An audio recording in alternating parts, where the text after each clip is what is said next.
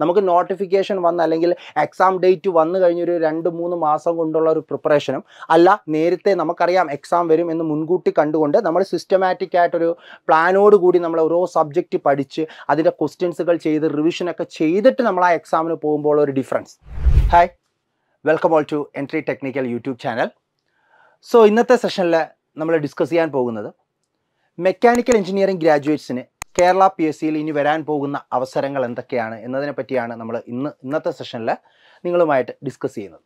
അപ്പോൾ നമുക്കറിയാം രണ്ടായിരത്തി ഇരുപത്തി മൂന്ന് എന്ന് പറയുന്ന വർഷം ടെക്നിക്കൽ ഉദ്യോഗാർത്ഥികൾ അത് മെക്കാനിക്കൽ എന്നല്ല mechanical civil electrical electronics computer science എല്ലാ എഞ്ചിനീയറിംഗ് ഗ്രാജുവേറ്റ്സിനും കേരള പി എസ് സിയിൽ ഒരുപാട് എക്സാമുകൾ നടന്ന ഒരു വർഷം തന്നെയായിരുന്നു രണ്ടായിരത്തി ഇരുപത്തി മൂന്ന് അപ്പോൾ ആ എക്സാമുകളൊക്കെ മാക്സിമം നല്ല രീതിയിൽ പഠിച്ച് ലിസ്റ്റിൽ ഉൾപ്പെടാൻ സാധ്യതയുള്ള ഉദ്യോഗാർത്ഥികൾ ഒരുപാടുണ്ട്. എങ്കിൽ തന്നെയും കുറേ ഉദ്യോഗാർത്ഥികൾ ഈ ഒരു എക്സാമിന് വേണ്ടിയിട്ട് അതായത് ഫസ്റ്റ് ടൈം അതായത് രണ്ടായിരത്തി ഇരുപത്തി മൂന്നിൽ നടന്ന ഈ ഒരു സീരീസ് ഓഫ് എക്സാംസിന് വേണ്ടിയിട്ട് നല്ല രീതിയിൽ പ്രിപ്പറേഷനൊക്കെ സ്റ്റാർട്ട് ചെയ്തു. പക്ഷേ maybe maybe some reasons മൂലം അവർക്ക് നല്ല രീതിയിൽ പെർഫോം ചെയ്യാൻ സാധിക്കാതെ വന്നിട്ടുണ്ട്. അപ്പോൾ അങ്ങനെയുള്ള ഉദ്യോഗാർത്ഥികൾക്കായിക്കോട്ടെ അല്ല രണ്ടായിരത്തി ഇരുപത്തി മൂന്ന് പാസ് ഔട്ടായി ഇനി കേരള പി എസ് സിയിലെ ടെക്നിക്കൽ എക്സാമുകൾ ഏതൊക്കെയാണ് എന്നുള്ളത് നോക്കുന്ന ഒരുപറ്റം ഉദ്യോഗാർത്ഥികളുണ്ട്. അപ്പോൾ ഇവർക്കൊക്കെ യൂസ്ഫുൾ ആവുന്ന രീതിയിൽ മെക്കാനിക്കൽ എഞ്ചിനീയറിംഗിൽ നമുക്കിനി വരാൻ പോകുന്ന അവസരങ്ങൾ എന്തൊക്കെയാണ് എന്നുള്ളതാണ് നമ്മൾ ഇന്നത്തെ സെഷനിൽ മെയിനായിട്ട് ഡിസ്കസ് ചെയ്യുന്നത്. Okay so once again I welcome you all to the session so job opportunities in Kerala P S C technical exams അതായത് നമുക്ക് എഞ്ചിനീയറിംഗ് ഗ്രാജുവേറ്റ്സിന് പി എസ് സിയിൽ എന്തൊക്കെ ഓപ്പർച്യൂണിറ്റീസ് ആണ് എസ്പെഷ്യലി മെക്കാനിക്കൽ ഡിപ്പാർട്ട്മെന്റ് ഗ്രാജുവേറ്റ്സിന് എന്തൊക്കെ ഓപ്പർച്യൂണിറ്റീസ് ആണ് നമ്മുടെ കേരള പി എസ് സിയിൽ ഉള്ളത് എന്നതിനെ പറ്റിയാണ് ഞാൻ ആദ്യം പറയുന്നത്. നമുക്കറിയാം ഏത് ഡിപ്പാർട്ട്മെന്റ് എടുത്താലും നമുക്ക് ലെറ്റ്സ് ഇറിഗേഷൻ ഡിപ്പാർട്ട്മെന്റ് ആയിക്കോട്ടെ ഗ്രൗണ്ട് വാട്ടർ ഡിപ്പാർട്ട്മെന്റ് ആയിക്കോട്ടെ അവിടെയൊക്കെ നമുക്ക് അസിസ്റ്റന്റ് എഞ്ചിനീയർ പോസ്റ്റ് ഓൾറെഡി ഉള്ളതാണ്. അപ്പോൾ നമുക്ക് അസിസ്റ്റന്റ് എഞ്ചിനീയർ എക്സാംസുകൾ നമുക്ക് എന്ത് ചെയ്യുന്നുണ്ട്? Kerala P S C mechanical engineering ഗ്രാജുവേറ്റ്സിന് വേണ്ടി വിളിക്കാറുണ്ട്. അതിന്റെ ബേസിക് ക്വാളിഫിക്കേഷൻ എന്ന് പറയുന്നത് ബി ടെക് ആണ്. ബി ടെക് ആണ് basic qualification B tech M tech ഉള്ള ഉദ്യോഗാർത്ഥികൾക്കെല്ലാം തന്നെ നമുക്ക് എന്ത് ചെയ്യാൻ പറ്റും? കേരള പി എസ് സിയിലെ അസിസ്റ്റന്റ് എഞ്ചിനീയർ എക്സാംസുകൾ എഴുതാനായിട്ട് സാധിക്കും. അത് കൂടാതെ തന്നെ ഈ പറയുന്ന ഡിപ്പാർട്ട്മെന്റുകളിലെല്ലാം എന്തുണ്ട്? ഓവർസിയർ ഗ്രേഡ് വൺ എക്സാംസുകൾ അതായത് നമുക്ക് ഡിപ്ലോമ ലെവൽ ക്വാളിഫിക്കേഷൻ ആണ് അവിടെ വരുന്നത്. ക്വാളിഫിക്കേഷൻ ഡിപ്ലോമയാണ് ഡിപ്ലോമ ലെവൽ ക്വാളിഫിക്കേഷനുള്ള ഓവർസിയർ ഗ്രേഡ് വൺ പോസ്റ്റുകൾ അത് നമ്മൾ ഈ പറയുന്ന എല്ലാ ഡിപ്പാർട്ട്മെന്റിലും ഇറിഗേഷൻ ഡിപ്പാർട്ട്മെന്റ് ആയിക്കോട്ടെ ഗ്രൗണ്ട് വാട്ടർ ഡിപ്പാർട്ട്മെന്റ് ആയിക്കോട്ടെ കേരള വാട്ടർ അതോറിറ്റി ഡിപ്പാർട്ട്മെന്റ് ആയിക്കോട്ടെ ഈ ഡിപ്പാർട്ട്മെന്റുകളിലെല്ലാം തന്നെ എന്തുണ്ട്? ഗ്രേഡ് വൺ എക്സാംസുകളുണ്ട് അത് ഡിപ്ലോമയാണ് ക്വാളിഫിക്കേഷൻ അതുകൊണ്ട് തന്നെ ഡിപ്ലോമ ഉദ്യോഗാർത്ഥികൾക്കും ബി ടെക് ഉദ്യോഗാർത്ഥികൾക്കും എം ടെക് ഉദ്യോഗാർത്ഥികൾക്കും എല്ലാം തന്നെ എന്ത് ചെയ്യാൻ പറ്റും? Grade one overseer grade one എക്സാംസുകൾ എഴുതാനായിട്ട് സാധിക്കും. അത് കൂടാതെ ഈ ഡിപ്പാർട്ട്മെന്റുകളിലെല്ലാം ഗ്രേഡ് ടു ഗ്രേഡ് ത്രീ എക്സാംസുകളുണ്ട് ഓവർസിയർ ഗ്രേഡ് ടു വിളിക്കാറുണ്ട്. ഓവർസിയർ ഗ്രേഡ് ത്രീ വിളിക്കാറുണ്ട്. അതിന്റെ ബേസിക് ക്വാളിഫിക്കേഷൻ എന്ന് പറയുന്നത് ഐ ടി ആണ്. ഐ ടി ഉദ്യോഗാർത്ഥികൾക്ക് എന്ത് ചെയ്യാൻ പറ്റും? Grade two grade three exam അപ്പോൾ ഇങ്ങനെ മൂന്ന് കാറ്റഗറിയിലാണ് നമുക്ക് എല്ലാ ഡിപ്പാർട്ട്മെന്റുകളിലും എന്ത് ചെയ്യുന്നത്? Kerala P S C technical ഗ്രാജുവേറ്റ്സിനെ വിളിക്കുന്നത്. അസിസ്റ്റന്റ് എഞ്ചിനീയർ ലെവൽ എക്സാംസ് വരുന്നുണ്ട്. Overseer grade one level exams വരുന്നുണ്ട്. അതേപോലെ തന്നെ overseer grade two and grade three എക്സാംസുകൾ വരുന്നുണ്ട് ഓക്കെ അപ്പോൾ അതിന്റെ ആ ക്വാളിഫിക്കേഷൻ നമ്മൾ നോക്കുക. അപ്പം ബി ടെക് ഗ്രാജുവേറ്റ്സിന് അസിസ്റ്റന്റ് എഞ്ചിനീയറും അതേപോലെ തന്നെ ഓവർസിയർ ഗ്രേഡ് വൺ എക്സാംസുകളും എഴുതാൻ പറ്റും.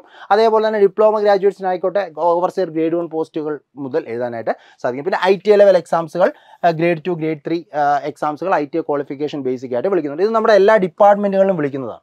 ഇത് കൂടാതെ കുറച്ച് ടീച്ചിങ് ജോബ്സുകൾ നമ്മുടെ കേരള പി എസ് സിയിൽ ടെക്നിക്കൽ ഗ്രാജുവേറ്റ്സിന് പറയുന്നുണ്ട്.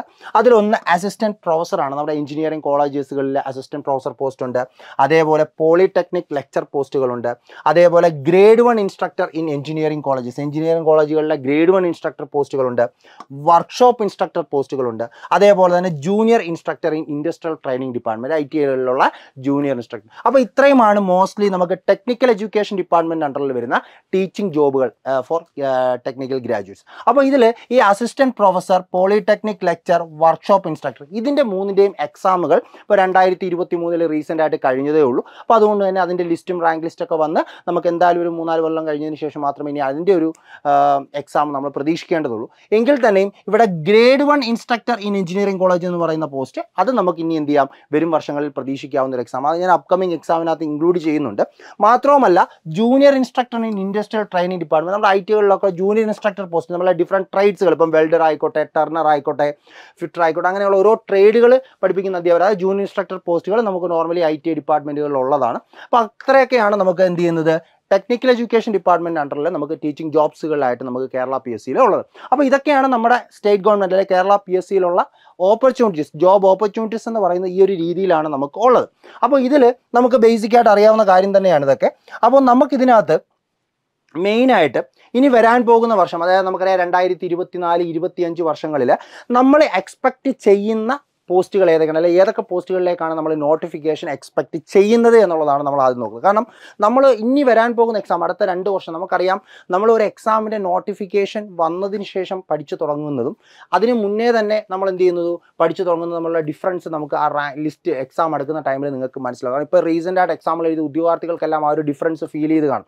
നമുക്ക് നോട്ടിഫിക്കേഷൻ വന്ന് അല്ലെങ്കിൽ എക്സാം ഡേറ്റ് വന്നു കഴിഞ്ഞൊരു രണ്ട് മൂന്ന് മാസം കൊണ്ടുള്ള ഒരു പ്രിപ്പറേഷനും അല്ല നേരത്തെ നമുക്കറിയാം എക്സാം വരും എന്ന് മുൻകൂട്ടി കണ്ടുകൊണ്ട് നമ്മൾ സിസ്റ്റമാറ്റിക് ആയിട്ടൊരു പ്ലാനോട് കൂടി നമ്മൾ ഓരോ സബ്ജക്റ്റ് പഠിച്ച് അതിന്റെ ക്വസ്റ്റ്യൻസുകൾ ചെയ്ത് റിവിഷനൊക്കെ ചെയ്തിട്ട് നമ്മൾ ആ എക്സാമിന് പോകുമ്പോൾ ഒരു ഡിഫറൻസ് അപ്പോൾ ആ ലെവലിൽ നമ്മൾ പ്രിപ്പയർ ചെയ്യണമെങ്കിൽ നമ്മൾ എന്ത് ചെയ്യണം? നമ്മുടെ പ്രിപ്പറേഷൻ നേരത്തെ തന്നെ സ്റ്റാർട്ട് ചെയ്യണം. അപ്പോൾ നമുക്കറിയാം എല്ലാവർക്കും അറിയാം എന്താ? നമ്മളൊരു എക്സാം മുന്നിൽ കണ്ടിട്ടേ നമ്മളെപ്പോഴും പ്രിപ്പറേഷൻ സ്റ്റാർട്ട് ചെയ്യാറുള്ളൂ അല്ലേ? നമുക്ക് ഇന്ന എക്സാം വരും എന്ന് കാണുമ്പോഴാണ് നമ്മൾ എന്ത് ചെയ്യുന്നത്? പ്രിപ്പറേഷൻ സ്റ്റാർട്ട് ചെയ്യുന്നത്. അപ്പോൾ ഇപ്പോൾ ഈ ഒരു ടൈമിൽ ഇപ്പോൾ ഒരുപാട് എക്സാമുകൾ കഴിഞ്ഞു. അപ്പോൾ ഇനി ഞാനൊരു മെക്കാനിക്കൽ എഞ്ചിനീയറിംഗിന് വേണ്ടി Kerala P S C based ചെയ്ത് മെക്കാനിക്കൽ എഞ്ചിനീയറിംഗിന് വേണ്ടിയിട്ട് ഒരു എക്സാമിന് പ്രിപ്പയർ ചെയ്ത് തുടങ്ങേണ്ട സമയം ഇതാണോ എന്നൊക്കെ ഡൗട്ട്സ് ഉള്ള ഒരുപാട് ഉദ്യോഗാർത്ഥികളുണ്ട്.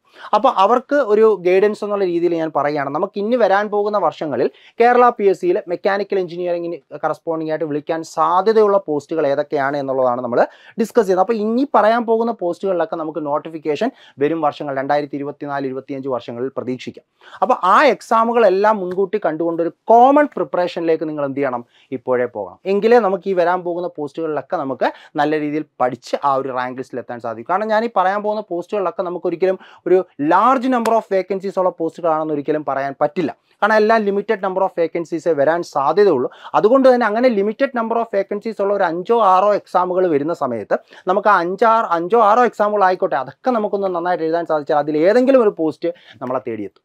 അപ്പോൾ അത് മുൻകൂട്ടി കണ്ടുകൊണ്ട് നിങ്ങൾ എന്ത് ചെയ്യുക? പ്രിപ്പറേഷൻ സ്റ്റാർട്ട് ചെയ്യുക. ഓക്കെ അപ്പോൾ നമുക്ക് നോക്കാം ഏതൊക്കെ എക്സാമുകളാണ് ഇനി കേരള പി എസ് സിയിലെ മെക്കാനിക്കൽ എഞ്ചിനീയറിങ്ങിന് അവസരമായി വരുന്നത് നോക്കാം. ഒന്ന് Kerala state farming corporation limited ഇവിടെ assistant engineer post already notification വന്നു കഴിഞ്ഞു. നിങ്ങൾ ഓൾറെഡി നിങ്ങൾ സ്റ്റുഡൻസുകൾ അപ്ലൈ ചെയ്ത് കാണാം. അതിന്റെ എക്സാം ഡേറ്റിന് എന്ത് ചെയ്യാണ്? വെയിറ്റിംഗ് ആണ്. അപ്പം assistant engineer in Kerala state farming corporation limited ഇത് ഓൾറെഡി നോട്ടിഫിക്കേഷൻ വന്ന പോസ്റ്റാണ് ഓക്കെ അപ്പോൾ ഒരെണ്ണം ഓൾറെഡി ഉണ്ട്. ഇനി നമുക്ക് വരാൻ സാധ്യതയുള്ള പോസ്റ്റുകൾ. ഒന്ന് രണ്ട് Kerala agro industries limited assistant engineer ഇത് നമുക്ക് നോട്ടിഫിക്കേഷൻ എക്സ്പെക്റ്റ് ചെയ്യാം. മൂന്നാമത്തത് ground water department assistant engineer അപ്പോൾ ഇത് വളരെ ഇമ്പോർട്ടന്റ് ആണ് ഈ ഒരു എക്സാം നോട്ട് ചെയ്തേക്കുക. കാരണം ഈ പറയുന്ന അസിസ്റ്റന്റ് എഞ്ചിനീയർ ഡിപ്പാർട്ട്മെന്റുകളിൽ കുറച്ചും കൂടെ ബെറ്റർ എന്ന് നമുക്ക് തോന്നുന്നത് എന്ത് തന്നെയാണ്? ഗ്രൗണ്ട് വാട്ടർ ഡിപ്പാർട്ട്മെന്റ് ഈ പോസ്റ്റ് തന്നെയാണ്. അപ്പോൾ അത് നോട്ട് ചെയ്യുക. അതേപോലെ തന്നെ plantation corporation limited assistant engineer exams നമുക്ക് വരും വർഷങ്ങളിൽ പ്രതീക്ഷിക്കാം. അതേപോലെ തന്നെ കെ അസിസ്റ്റന്റ് ട്രാൻസ്പോർട്ട് ഓഫീസർ അല്ലെങ്കിൽ അസിസ്റ്റന്റ് ഡിപ്പോ എഞ്ചിനീയർ വിളിക്കാൻ സാധ്യതയുണ്ട് നോട്ടിഫിക്കേഷൻ വരാം. അതേപോലെ തന്നെ grade one instructor in engineering colleges നമ്മുടെ ടെക്നിക്കൽ എഡ്യൂക്കേഷൻ ഡിപ്പാർട്ട്മെന്റ് അണ്ടറുള്ള മോസ്റ്റ് എ പി ആയിക്കോട്ടെ പോളിടെക്നിക് ലെക്ചർ ആയിക്കോട്ടെ വർക്ക്ഷോപ്പ് ഇൻസ്ട്രക്ടർ ആയിക്കോട്ടെ ഇത് ഇതിന്റെയൊക്കെ എക്സാമുകളെല്ലാം രണ്ടായിരത്തി ഇരുപത്തി മൂന്നിൽ കഴിഞ്ഞു. അപ്പോൾ ഇനി നമുക്ക് കുറച്ച് മുന്നേ വിളിച്ച ഒരു എക്സാമാണ് ഗ്രേഡ് വൺ ഇൻസ്ട്രക്ടർ നമ്മുടെ എഞ്ചിനീയറിംഗ് കോളേജുകളിലുള്ള ഗ്രേഡ് വൺ ഇൻസ്ട്രക്ടർ പോസ്റ്റ് അതായത് വർക്ക്ഷോപ്പ് ഇൻസ്ട്രക്ടറിന്റെ തൊട്ട് മുകളിലുള്ള പോസ്റ്റാണ് വരുന്നത് അല്ലേ? അപ്പോൾ ആ ഗ്രേഡ് വൺ ഇൻസ്ട്രക്ടറിന്റെ നോട്ടിഫിക്കേഷൻ നമുക്ക് ഇനി വരും വർഷങ്ങളിൽ പ്രതീക്ഷിക്കാവുന്നതാണ്. അതേപോലെ തന്നെ ഇനി നമുക്ക് വരാൻ പോകുന്ന ആ, ഒരു മെയിൻ എക്സാം തന്നെയാണ് ഇൻഡസ്ട്രീസ് എക്സ്റ്റൻഷൻ ഓഫീസർ ഇത് നമുക്ക് നോട്ടിഫിക്കേഷൻ അടുത്ത പ്രതീക്ഷിക്കാവുന്ന ഒരു എക്സാം പക്ഷേ ഈ ഒരു പോസ്റ്റ് എന്ന് പറയുന്നത് ഇൻഡസ്ട്രി എക്സ്റ്റൻഷൻ എക്സ്റ്റൻഷൻ ഓഫീസർ എന്ന് പറയുന്ന പോസ്റ്റ് എന്ന് പറഞ്ഞാൽ പ്യൂർലി മെക്കാനിക്കൽ ഗ്രാജുവേറ്റ്സിനുള്ളതല്ല അത് ഏതൊരു എഞ്ചിനീയറിംഗ് ഗ്രാജുവേറ്റിനും എഴുതാം. അത് ബി ടെക് മെക്കാനിക്കൽ ആയിക്കോട്ടെ സിവിൽ ആയിക്കോട്ടെ ഇലക്ട്രിക്കൽ ആയിക്കോട്ടെ ഏതൊരു എഞ്ചിനീയറിംഗ് ഗ്രാജുവേറ്റിനും എഴുതാൻ പറ്റുന്ന ഒരു എക്സാമാണ് ഇൻഡസ്ട്രീസ് എക്സ്റ്റൻഷൻ ഓഫീസർ അപ്പോൾ അത് നമുക്ക് ഇനി വരും വർഷങ്ങളിൽ അടുത്ത വർഷം രണ്ടായിരത്തി ഇരുപത്തിനാല് ഇരുപത്തഞ്ചിൽ നോട്ടിഫിക്കേഷൻ പ്രതീക്ഷിക്കാവുന്ന ഒരു പോസ്റ്റാണ് ദെൻ അതേപോലെ തന്നെ കേരള സിറാമിക്സ് ലിമിറ്റഡിലെ അസിസ്റ്റന്റ് മാനേജർ ഇതും നമുക്ക് നോട്ടിഫിക്കേഷൻ പ്രതീക്ഷ അപ്പോൾ ഇതാണ് ഒരു ലിസ്റ്റ് ഓഫ് എക്സാംസ് നമുക്ക് ഇനി വരുന്ന വർഷങ്ങളിൽ നമുക്ക് ഒരു എ ലെവൽ ഒരു ബി ടെക് ലെവൽ മെക്കാനിക്കൽ എഞ്ചിനീയറിന് പ്രതീക്ഷിക്കാവുന്ന നോട്ടിഫിക്കേഷൻസ് മെയിൻ ആയിട്ടുള്ളത് ഇത്രയുമാണ്. ഓക്കെ അപ്പോൾ ഈ ഒരു ഈ ഒരു നോട്ടിഫിക്കേഷൻസ് നമ്മൾ എക്സ്പെക്ട് ചെയ്യുന്നു എന്ന് ഉദ്ദേശിക്കുന്നത് ഇതിന്റെ പ്രീവിയസ് ഇയർ റാങ്ക് ലിസ്റ്റിനെ ബേസ് ചെയ്തുകൊണ്ട് തന്നെയാണ്. അപ്പോൾ ഇതിന്റെ പ്രീവിയസ് ഇയർ റാങ്ക് ലിസ്റ്റ് നിങ്ങളൊന്ന് നോക്കി കഴിഞ്ഞു കഴിഞ്ഞാൽ ഇപ്പോൾ A assistant engineer Kerala agro industries private limited ഇതിന്റെ റാങ്ക് ലിസ്റ്റ് പബ്ലിഷ് ആയത് പന്ത്രണ്ട് നാല് രണ്ടായിരത്തി പത്തൊമ്പത് രണ്ടായിരത്തി പത്തൊമ്പത് April പന്ത്രണ്ടിനാണ് Kerala agro industries assistant agro industries limited assistant engineer പോസ്റ്റിന്റെ റാങ്ക് ലിസ്റ്റ് പബ്ലിഷ് ആയത്. അപ്പോൾ നമുക്ക് ഓൾമോസ്റ്റ് ലിസ്റ്റ് എക്സ്പയർ ആവാൻ എക്സ്പയർ ഓൾമോസ്റ്റ് ലിസ്റ്റ് എക്സ്പയർ ആവാനുള്ള ടൈം ആയിട്ടുണ്ട്. അപ്പോൾ അതുകൊണ്ട് തന്നെ നമുക്ക് അടുത്ത വർഷങ്ങളിൽ രണ്ടായിരത്തി ഇരുപത്തി മൂന്ന് ഇരുപത്തി ഇരുപത്തിനാല് ഇരുപത്തഞ്ച് വർഷങ്ങളിൽ നമുക്ക് ഇതിന്റെ നോട്ടിഫിക്കേഷൻ നമുക്ക് എക്സ്പെക്റ്റ് ചെയ്യാവുന്നതാണ്. അതേപോലെ രണ്ടാമത്തത് assistant engineer ground water department അല്ലേ? ഞാൻ പറഞ്ഞു നല്ല ഏറ്റവും നമ്മൾ ഡിസ്കസ് ചെയ്യുന്ന ഡിപ്പാർട്ട്മെന്റുകളിൽ കുറച്ചും കൂടെ ബെറ്റർ ആയിട്ടുള്ള ഡിപ്പാർട്ട്മെന്റ് ഗ്രൗണ്ട് വാട്ടർ ഡിപ്പാർട്ട്മെന്റ് ആണ്. അപ്പോൾ അതിൽ അസിസ്റ്റന്റ് എഞ്ചിനീയർ നമുക്ക് നോക്കേ മുപ്പത്തൊന്ന് ഒന്ന് രണ്ടായിരത്തി ഒമ്പത് രണ്ടായിരത്തി പത്തൊമ്പത് നമ്മളിവിടെ മെൻഷൻ ചെയ്തിരിക്കുന്ന എല്ലാ ലിസ്റ്റുകളും രണ്ടായിരത്തി പതിനെട്ട് പത്തൊമ്പത് കാലയളവുകളിൽ റാങ്ക് ലിസ്റ്റ് വന്നേക്കുന്നതാണ്. അപ്പോൾ അതിന്റെയൊക്കെ ഒരു നോട്ടിഫിക്കേഷൻ അടുത്ത നോട്ടിഫിക്കേഷൻ നമുക്ക് രണ്ടായിരത്തി ഇരുപത്തി മൂന്ന് ഇരുപത്തിനാല് ഇരുപത്തഞ്ച് വർഷങ്ങളിൽ പ്രതീക്ഷിക്കാവുന്നതാണ്. ഓക്കെ അപ്പോൾ ഈ ഒരു പോസ്റ്റ് ഉണ്ട്. അതേപോലെ തന്നെ plantation corporation limited assistant engineer. കണ്ടോ മുപ്പത് ഒന്ന് രണ്ടായിരത്തി പതിനെട്ട് ഓൾറെഡി റാങ്ക് ലിസ്റ്റ് പബ്ലിഷ് ആയതാണ്. രണ്ടായിരത്തി പതിനെട്ടിൽ ലിസ്റ്റ് എക്സ്പയർ ആയിട്ടുള്ളതാണ്. അപ്പോൾ എന്തായാലും നമുക്ക് നോട്ടിഫിക്കേഷൻ വരും വർഷങ്ങളിൽ പ്രതീക്ഷിക്കാം. അതേപോലെ തന്നെ നമ്മുടെ കെ എസ് ആർ ടി സിയിൽ അസിസ്റ്റന്റ് ട്രാൻസ്പോർട്ട് ഓഫീസർ അതും പത്ത് ഏഴ് രണ്ടായിരത്തി പതിനെട്ടിലാണ് നോട്ടിഫിക്ക റാങ്ക് ലിസ്റ്റ് വന്നത്. Previous year rank list expire ഇപ്പോൾ at present rank list expired ആണ്. അപ്പോൾ നമുക്ക് വരും വർഷങ്ങളിൽ നോട്ടിഫിക്കേഷൻ എക്സ്പെക്ട് ചെയ്യാവുന്നതാണ്. Then grade one instructor in engineering college technical education department ഏറ്റവും നല്ലൊരു പോസ്റ്റാണ് മെൻഷൻ ചെയ്തിരിക്കുന്നതിൽ ടെക്നിക്കൽ എഡ്യൂക്കേഷൻ ഡിപ്പാർട്ട്മെന്റിലേക്ക് കയറാൻ പറ്റുന്ന ഒരു പോസ്റ്റാണ് ഗ്രേഡ് വൺ ഇൻസ്ട്രക്ടർ എന്ന് പറയുന്നത്. അത് പതിനാറ് അഞ്ച് രണ്ടായിരത്തി പത്തൊമ്പതിലായിരുന്നു റാങ്ക് ലിസ്റ്റ് വന്നത്. അപ്പോൾ അതുകൊണ്ട് തന്നെ അതിന്റെ നോട്ടിഫിക്കേഷൻസും പ്രീവിയസ് ഇയർ റാങ്ക് ലിസ്റ്റ് വന്ന ഡേറ്റ് പതിനാറ് അഞ്ച് രണ്ടായിരത്തി പത്തൊമ്പതാണ് അപ്പോൾ അതുകൊണ്ട് തന്നെ നമുക്ക് അതിന്റെ നോട്ടിഫിക്കേഷനും വരും രണ്ടായിരത്തി ഇരുപത്തിനാല് ഇരുപത്തഞ്ചിൽ പ്രതീക്ഷിക്കാം. ദെൻ ഇൻഡസ്ട്രീസ് എക്സ്റ്റൻഷൻ ഓഫീസർ ഇതാ ഞാൻ പറഞ്ഞത് എനി ബി ടെക് ഗ്രാജുവേറ്റ്സ് ഈ പറയുന്നതെല്ലാം നമ്മുടെ mechanical B tech in mechanical engineering ആണ്. പക്ഷേ ഇൻഡസ്ട്രീസ് എക്സ്റ്റൻഷൻ ഓഫീസർ എന്ന് പറയുന്നത് നമുക്കറിയാം. ഏതൊരു എഞ്ചിനീയറിംഗ് ഗ്രാജുവേറ്റിനും അപ്ലൈ ചെയ്യാവുന്ന അവിടെ നമ്മളെ ക്വസ്റ്റ്യൻസ് വരുന്നത് എല്ലാ സ്ട്രീമിൽ നിന്നും basic mechanical basic civil basic electrical basic electronics basic computer സയൻസിൽ നിന്നുള്ള എല്ലാ ചോദ്യങ്ങളും അവിടെ വരുന്നുണ്ട്. അതുകൊണ്ട് തന്നെ ഏതൊരു എഞ്ചിനീയറിംഗ് ഗ്രാജുവേറ്റിനും അപ്ലൈ ചെയ്യാവുന്ന ഒരു പോസ്റ്റാണ് നല്ലൊരു പോസ്റ്റ് തന്നെയാണ്. അതിന്റെയും പ്രീവിയസ് ഇയർ ലിസ്റ്റ് എട്ട് പന്ത്രണ്ട് രണ്ടായിരത്തി ഇരുപത്തി ഒന്നിനാണ് റാങ്ക് ലിസ്റ്റ് വന്നത് അപ്പോൾ റാങ്ക് ലിസ്റ്റ് അറ്റ് പ്രസന്റ് ഉണ്ട്. പക്ഷേ നമുക്ക് രണ്ടായിരത്തി ഇരുപത്തിനാലോടൊക്കെ ആ റാങ്ക് ലിസ്റ്റ് എക്സ്പയർ ആവുന്നു. അപ്പോൾ അത് കുറച്ചും കൂടെ വേക്കൻസി കൂടുതലുള്ള പോസ്റ്റ് ആയതുകൊണ്ട് തന്നെ മേ ബി ഇപ്പോഴത്തെ പി എസ് സിയുടെ ഒരു രീതി അനുസരിച്ച് നോട്ടിഫിക്കേഷൻ നമുക്ക് എന്ത് ചെയ്യാം? നേരത്തെ പ്രതീക്ഷിക്കാം. ലിസ്റ്റ് എക്സ്പയർ ആവുന്നത് മുന്നിൽ കണ്ടുകൊണ്ട് നോട്ടിഫിക്കേഷൻ പ്രതീക്ഷിക്കാം. അപ്പോൾ ഇത്രയും എക്സാമുകളാണ് പ്യുവർലി നമുക്ക് ഒരു മെക്കാനിക്കൽ എഞ്ചിനീയറിംഗിന് ഇനി വരും വർഷങ്ങളിൽ നമുക്ക് പ്രതീക്ഷിക്കുന്ന എക്സാമുകൾ അപ്പോൾ ഈ ഒരു എക്സാമുകൾക്കൊക്കെയുള്ള ഒരു എന്താണ് ഈ ഒരു എക്സാമുകൾക്കൊക്കെ ഉള്ളൊരു കോമൺ പ്രിപ്പറേഷൻ ആണ് നിങ്ങൾ ഇനി മുന്നോട്ട് കൊണ്ടുപോകേണ്ടത്. അപ്പം ഇപ്പോൾ രണ്ടായിരത്തി ഇരുപത്തി മൂന്ന് പാസ് ഔട്ടായ ഉദ്യോഗാർത്ഥികളായിക്കോട്ടെ രണ്ടായിരത്തി ഇരുപത്തി മൂന്നിൽ പാസ് ഔട്ടായിട്ട് നിങ്ങൾ ജസ്റ്റ് പ്രൈവറ്റ് ഫീൽഡിൽ വർക്ക് ചെയ്തുകൊണ്ടിരിക്കുന്ന ഉദ്യോഗാർത്ഥികളാകാം. അല്ലെങ്കിൽ ഞാൻ നേരത്തെ പറഞ്ഞ പോലെ രണ്ടായിരത്തി ഇരുപത്തി മൂന്നിൽ നടന്ന സീരീസ് ഓഫ് എക്സാംസ് പ്രിപ്പയർ ചെയ്തു. പക്ഷേ പ്രതീക്ഷിക്കുന്ന രീതിയിലേക്ക് ആ ഒരു എക്സാമിന് പെർഫോമൻസ് ചെയ്യാൻ പറ്റാത്ത ഉദ്യോഗാർത്ഥികളാകാം. അപ്പോൾ അങ്ങനെയുള്ളവരെല്ലാം ഇനിയും നിങ്ങൾ പി എസ് സിയിൽ അതായത് ടെക്നിക്കൽ എക്സാമുകൾ ട്രൈ ചെയ്യുന്നുണ്ടെങ്കിൽ നിങ്ങൾ പാരലി എന്ത് ചെയ്യുക? പ്രിപ്പറേഷൻ സ്റ്റാർട്ട് ചെയ്യുക. ഓക്കെ അപ്പോൾ ആസ് എ ബിഗിനർ എന്നുള്ള രീതിയിൽ അതായത് ഫ്രഷ് ആയിട്ട് പഠിച്ചു തുടങ്ങുന്ന ഉദ്യോഗാർത്ഥികളായിക്കോട്ടെ അല്ലെങ്കിൽ റിപ്പീറ്റഡ് അതായത് കഴിഞ്ഞ എക്സാമുകളൊക്കെ പഠിച്ചു പക്ഷേ കുറച്ച് റിവിഷൻ ചെയ്യാനുള്ള സമയം കിട്ടിയില്ല അല്ലെങ്കിൽ ആദ്യ ആദ്യ പ്രാവശ്യം ട്രൈ ചെയ്യുമ്പോൾ ഉണ്ടാകുന്ന ഡിഫിക്കൽട്ടീസ് ഒക്കെ മൂലം ആ റാങ്ക് ലിസ്റ്റിലേക്ക് എത്തിപ്പെടാൻ പറ്റാത്ത ഉദ്യോഗാർത്ഥികൾ എന്ത് ചെയ്യുക വീണ്ടും അവർ റിപ്പീറ്റ് ചെയ്ത് ട്രൈ ചെയ്യുക. അപ്പോൾ അങ്ങനെയൊക്കെയുള്ള ഉദ്യോഗാർത്ഥികൾക്ക് പഠിച്ചു തുടങ്ങാനുള്ള കുറച്ച് എക്സാമുകളാണ് നമ്മൾ രണ്ടായിരത്തി ഇരുപത്തിനാല് ഇരുപത്തഞ്ചിൽ എക്സ്പെക്ട് ചെയ്യുന്ന നോട്ടിഫിക്കേഷൻസ് ഞാൻ നിങ്ങളെ മുന്നിൽ കാണിച്ചത്. അപ്പോൾ ഈ എക്സാമുകളൊക്കെ മുന്നിൽ കണ്ടുകൊണ്ട് നിങ്ങൾ എന്ത് ചെയ്യുക?